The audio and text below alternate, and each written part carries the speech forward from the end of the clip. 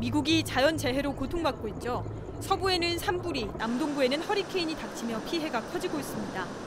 미 남동부를 덮친 허리케인 셀리.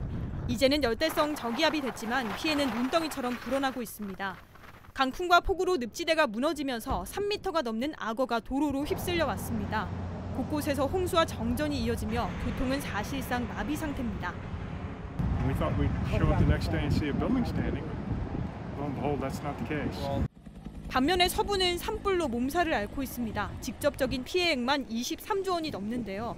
오리건주 등에서 대피한 수만 명의 주민들은 아직 집으로 돌아가지 못하고 있습니다. 인근 도시의 하늘은 희뿌연 연기로 뒤덮였습니다.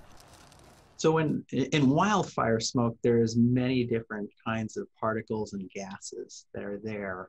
Uh, one particular uh, bad actor are the really tiny small particles that are less than 2.5 microns in size. And 다행히 진화에는 조금씩 진전이 있는 것으로 알려졌는데요. 이미 허리케인으로 최소 1명이 숨지고 산불로 최소 36명이 사망한 상황. 서부와 남동부 모두 실종자를 찾는 데 총력을 다하고 있지만 피해는 더 늘어날 것으로 보입니다.